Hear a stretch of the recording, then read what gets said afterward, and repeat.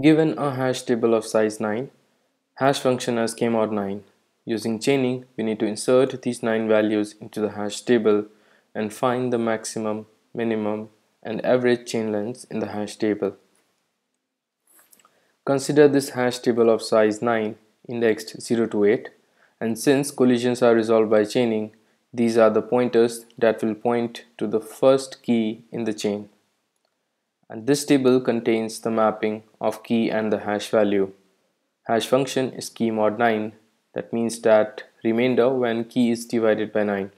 For example 19 when divided by 9 leaves 1 as the remainder so 1 is the hash value for 19. So 19 will go into the chain pointed by bucket 1. So let's insert these values in this order. So first key is 5 which is mapped to 5. So we go to index 5 and we insert the key 5.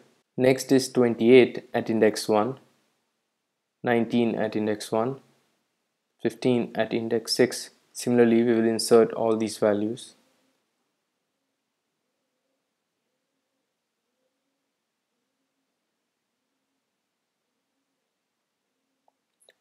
Now let's find the chain length for each bucket. So bucket 0 since there are no keys in this chain so chain length is 0. For bucket 1 3 keys so chain length is 3. Similarly we will find the chain length for all these buckets. Now 3 is the maximum, minimum is 0 and to find the average we will sum these values.